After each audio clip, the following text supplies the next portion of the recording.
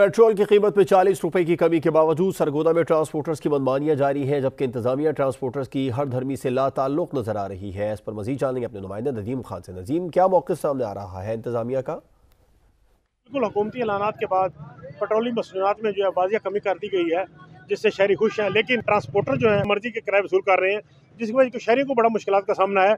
इसकी तरफ़ कोई चेक एंड बैलेंस ना एक मुसाफिर हमारे साथ मौजूद है मजीद उनसे जानते हैं। पेट्रोल में बहुत सारी कमी हुई है चालीस रुपए की कमी हुई है और किराए में कोई कमी नहीं हुई है। जी बिल्कुल आपने जैसे एक शहर की बात सुनी कि इनका कहना था कि पेट्रोलियम मसनूआत में तो कमी हो गई है लेकिन किराए में कमी नहीं की गई। इसकी वजह यह है कि जो जिम्मेदार हैं जो इंतजामिया के अफसरान हैं उन्होंने ये गवारा नहीं किया। किरायों की जो लिस्टें हैं वो चेक करें।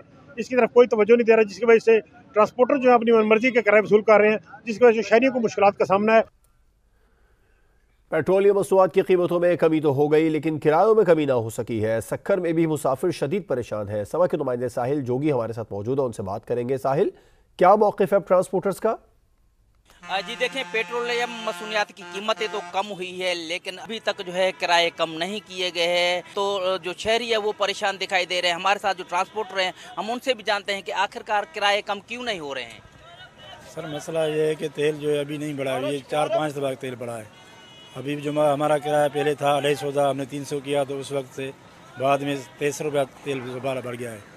क्यों नई हुकूमत ने दो दफ़ा बढ़ाया है? तो हमारा किराया बढ़ाया नहीं। क्यों बढ़ाते हैं तो, तो लड़ाई होती है फसरी होती है। जी आपने सुना कि किराए तो हम कम कर रहे हैं लेकिन अफसोस ये है कि हर पंद्रह रोज़ जो तेल की कीमतें कभी बढ़ती हैं कभी उतरती हैं। तो इस हवाले से इनका यही मुतालबा है ट्रांसपोर्टर्स का भी कि तेल की कीमतों में मुसलसल कमी की जाए ताकि किरायों में भी कमी हम कर सकें।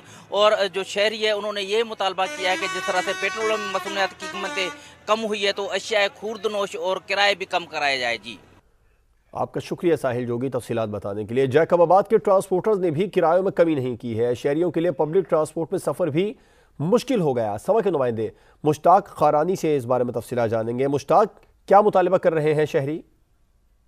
हाँ जी, बिल्कुल, पेट्रोलियम मसनूआत की कीमतों में चालीस रुपये कमी के बाद भी जैकबाबाद के ट्रांसपोर्टर्स की जानब से किरायों में कमी नहीं किया गया है। अगर किरायों की कीमतों की बात करें तो जैकबाबाद से कोयटा जाने का किराया जो है हज़ार रुपये है और जैकबाबाद से सखर जाने का किराया तीन सौ रुपये इसी तरह जो है जैकबाबाद से सिब्बी जाने का किराया साढ़े पाँच सौ है। जब हमारी यहाँ पर पसेंजरों से बात हुई तो उनका कहना है कि जब पेट्रोलियम मसनूआत की कीमतों में इजाफा होता है तो ट्रांसपोर्टर्स की जानब से जो है किरायों में बेपना इजाफा कर दिया जाता है, मगर जब पेट्रोलियम मसनूआत की कीमतों में कमी होता है, तब ट्रांसपोर्टर्स की जानब से किरायों में जो है कमी नहीं किया जाता है, जिसके बाद जो पैसेंजर हैं, वो जो है ज़्यादा जो है किराया देने पर मजबूर हैं।